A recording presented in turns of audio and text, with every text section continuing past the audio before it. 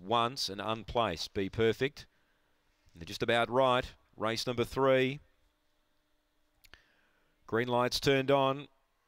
Third at Angle Park. They're ready to race. Set.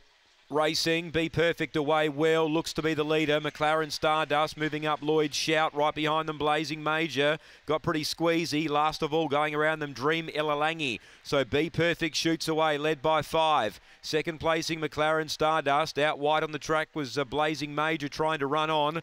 Then Dream Ilalangi and Lloyd Shout off the back though. Be Perfect clear.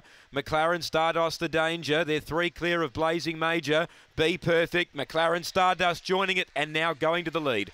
McLaren Stardust defeats Be Perfect. Blazing Major tearing home late. It got third.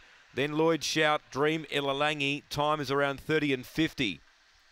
McLaren Stardust Tanya Foster gets a double on the program. She had the previous winner.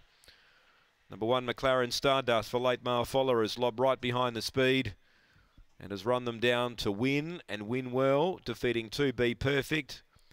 And number four, four, third, and that is Blazing Major. He got caught up out deep and rushed home late. There's a win in him soon. Number